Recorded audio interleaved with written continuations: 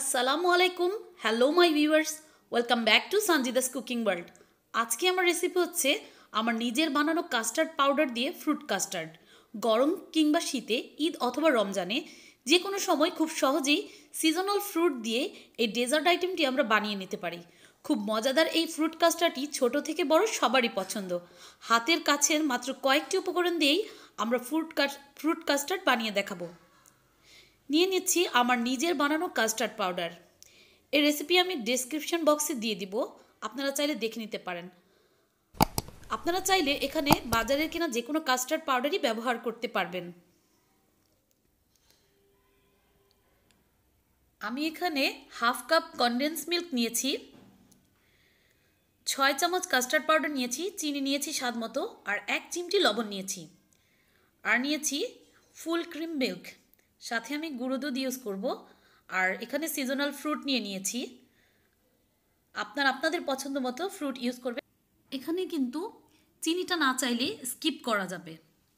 কারণ কাস্টার্ড পাউডারে চিনি আছে আর কন্ডেন্স মিল্কেও চিনি আছে। আমি এখানে কাস্টার্ড পাউডারটি সামান্য পানি দিয়ে গুলিয়ে নিচ্ছি। এখন আমি একটি হাঁড়িতে ফুল ক্রিম দুধ দিয়ে দিচ্ছি। আপনারা চাইলে গরুর দুধও নিতে পারেন। চেষ্টা করবেন পূর্ণ ননিযুক্ত দুধটাকে এখানে ব্যবহার করতে। দুধটিকে ভালোভাবে জাল করে নিতে হবে। খুব বেশি শুকানোর দরকার নেই, কারণ কাস্টার্ড পাউডার দিলে এটি এমনিতেই ঘন হয়ে যাবে।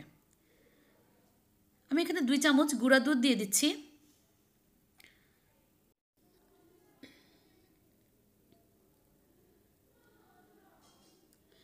স্বাদ মতো চিনি দিয়ে দিব এক চিমটি পরিমাণ আমি লবণ দিয়ে দিব।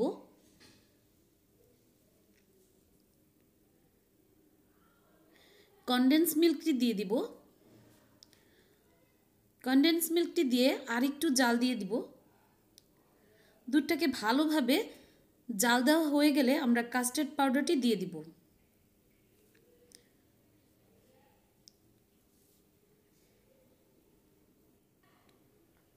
আর এখানে একটি টিপস শেয়ার করি।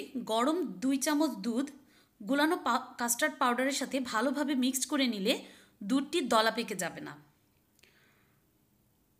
আর কাস্টার্ড পাউডারটি এক হাতে ঢালতে হবে আর অনবরত আরেক হাতে নাড়তে হবে। এটাকে ঢালতে থাকব আর নাড়তে থাকব। তাহলে দুধটি দলা পেকে যাবে না।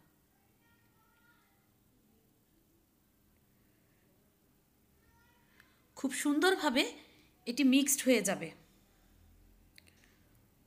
অনবরত নাড়তে হবে আর জাল দিতে হবে। চুলার আঁচটা এ সময় পুরোটাই মিডিয়াম আঁচে থাকবে। নাড়তে নাড়তে এটি ঘন হয়ে যাবে।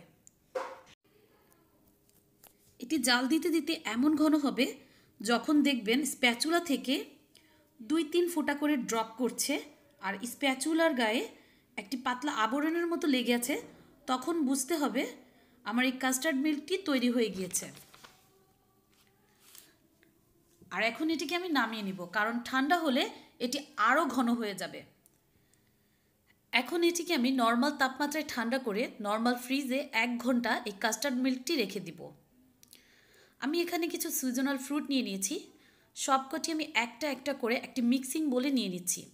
আমি অ্যাপেল নিয়েছি অরেঞ্জ নিয়েছি কলা নিয়েছি আর আনার নিয়েছি। সাথে কিছু মুরব্বা নিয়েছি। এগুলো একসাথে ভালোভাবে মিক্সড করে নিব।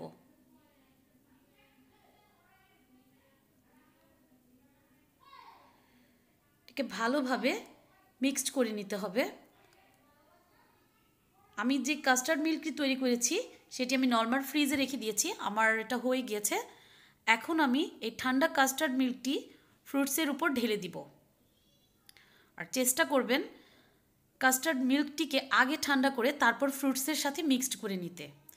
পরে পরে যদি এটাকে আমরা ফ্রিজে রাখি, তাহলে ওটা খেতে বেশি ভালো লাগবে না। আগে ঠান্ডা করলেই খেতে ভালো লাগে।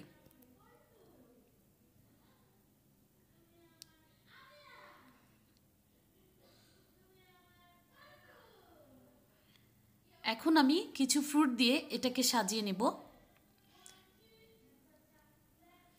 কিছু আনার দিয়ে দিচ্ছি উপরে।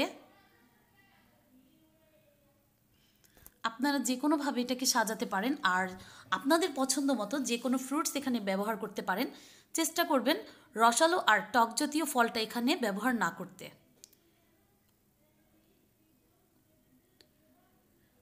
আমি কিছু অরেঞ্জও দিয়ে দিচ্ছি।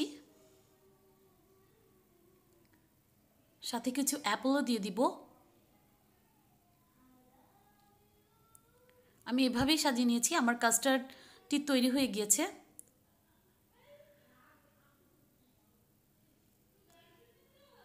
আমার এই ফ্রুট কাস্টার্ডটি খেতে খুবই মজা হয়েছে।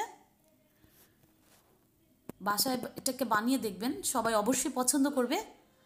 আর আমার ভিডিও যদি আপনাদের ভালো লাগে, তাহলে অবশ্যই লাইক, কমেন্ট, শেয়ার আর আমার চ্যানেলটি সাবস্ক্রাইব করতে ভুলবেন না। আপনার ফ্রেন্ডস অ্যান্ড ফ্যামিলির সাথে। সাথে পাশের বেল আইকনটি ক্লিক করে আমার সাথেই থাকবেন। সবাই ভালো থাকবেন। আল্লাহ হাফিজ।